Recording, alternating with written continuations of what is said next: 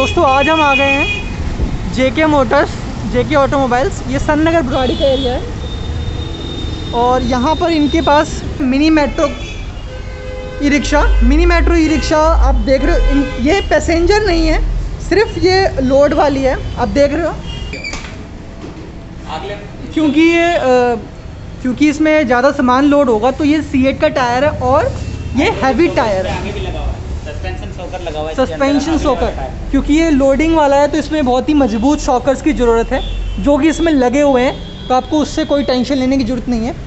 इसमें भी music system है और म्यूज़िक सिस्टम देख रहे हैं बिल्कुल अच्छी पोजीशन पे लगा हुआ है और यहाँ पे माइक भी है और आपको इसमें म्यूज़िक सिस्टम में ब्लूटूथ भी कनेक्ट कर सकते हो माइक्रोफोन भी और पेन ड्राइव भी कनेक्ट कर सकते हो।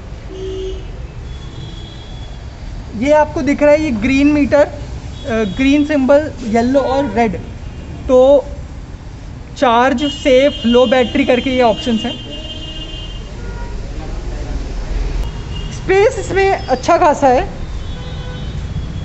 और बाकी के कंपैरिजन में आपको सारे फीचर जो बाकी ई रिक्शा में मिलते हैं, इसमें मिलेंगे, लेकिन एक फीचर है जो इसमें एडवांस मिलता है, जो कि हर ई रिक्शा में नहीं मिलता, वो है इसका हाइड्रोलिक हाइड्रोलिक जो आपको ट्रैक्टर वैक्टर में सब मिलता है, उसमें ये देखो, ये अपने आप ही हल्का सा ही पुल करने पे ये ऊपर गिर गया तो आपको अगर कोई भी आप अगर कोई भी भारी सामान है जो आपसे नहीं उठाया जा रहा है गिरा सकते हो तो उसको इस तरह से आप इसे टिल्ट करके भी गिरा सकते हो।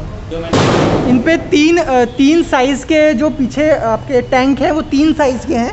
एक ये है कितने का है? पाँच बाई उनतालीस। पाँच बाय उनतालीस का है। दूसरा ये है ये सिंगल फोल्ड में पाँच बाय पाँच बाय चार है। और एक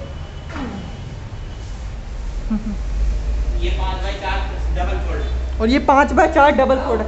तो आप देख रहे हो स्पेस बहुत ज़्यादा है और इसमें सबसे अच्छे एडवांटेज हाइड्रोलिक वाला, जिससे आप सब कुछ मतलब आसानी से उसमें कर सकते हो।